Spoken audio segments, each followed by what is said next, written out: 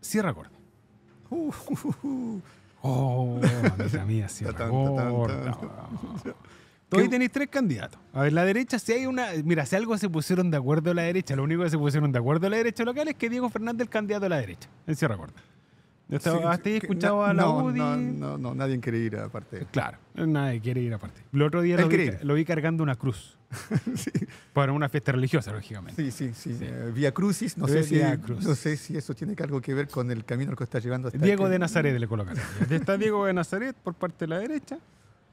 Y la pelea de verdad está entre Débora Paredes, apoyada con un sector del PS y de Ricardo Díaz, que el otro día lo vi como dándole espaldarazo a Débora Sí. Paredes, y está José Guerrero, con va- apoyo del PPD. Sí, que declara oficialmente su candidatura el 17 de mayo, la próxima semana. Claro.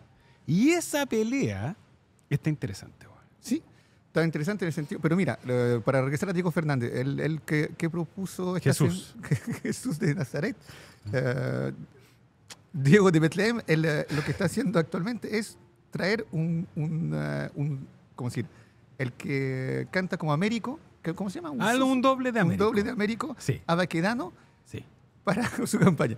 sí. Reitero, ausencia de programa. Mira Sierra Gorda, el dinero que tiene, la proyección que puede tener, los proyectos que puede implementar, porque puede estar a construir una laguna y las mineras lo van a seguir. ¿Mm? Es decir, los proyectos freak, un poco locos, que hacen, por ejemplo, en Dubái, en esos países, porque ahí está el dinero de la- del petróleo y también de- del gas y de otras cosas.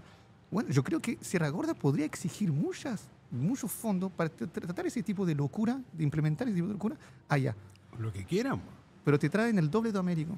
Y la última, la alcaldesa, en un último consejo municipal, pide de construir cancha de pádel con, lo- con la- el ingreso de los, cin- del royalty en, en las arcas de la municipalidad. No, No te metas con esa secta, weón. pero mira, Ah, no, no, no, a mí me encanta el pádel, pero yo Ya, creo que hay otra prioridad en Sierra. Gorda que es jugar entre cuatro paredes de vidrio. Así, ahí está la educación, está la salud y otras cosas. Y tú ves que eh, nadie del gobierno regional, de que lo apoyan, del Partido Socialista, porque también estaba, estaba Andrea Merino ahí, ninguno dice, oye, ¿sabes qué? Podríamos reunirnos y proponer cosas concretas. eh, Un tren, weón, Sí, por algo, pero proyectos. Dejemos de estar en la cosita ratoncita chiquitita, que cua- cuatro, cupos, entonces tú, este, el primo hermano de este y este, ya pongámoslo acá en estos cargos y hablemos de proyectos para que esto crezca, porque Sierra Gorda va a tener plata, va a tener Sí. fondo.